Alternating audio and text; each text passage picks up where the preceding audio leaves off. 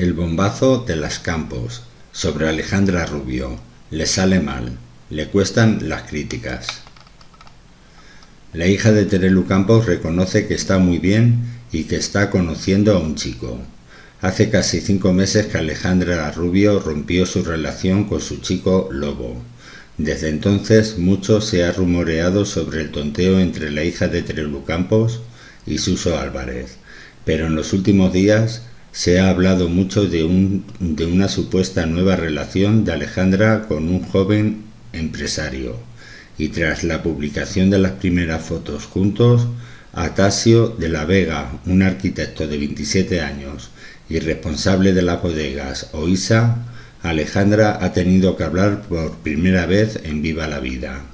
De este modo, la hija de Terelu ha reconocido estar muy feliz y bien, aunque ha querido ser cauta con su nueva situación sentimental.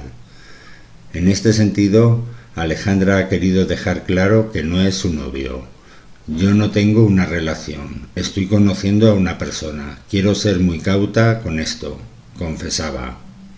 Así Alejandra ha intentado no entrar en más detalles de su relación y del chico con el que está empezando a conocer. Sin embargo, Kiko Matamoros no ha dudado en desvelar algunos detalles de este nuevo chico que podría haber ocupado el corazón de la pequeña Campos.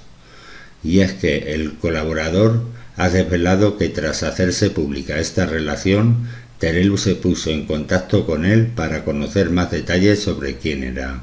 Y Matamoros ha confesado que Terelu le preguntó por si era el de si era de derechas al saber que era de una familia adinerada y bien posicionada en la sociedad.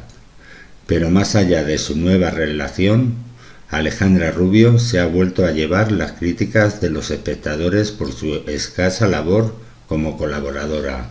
Además muchos le critican porque tampoco quiere hablar de su vida siendo por lo único por lo que está ahí. Pues esta es la noticia, coméntala, suscríbete al canal y muchas gracias por estar ahí.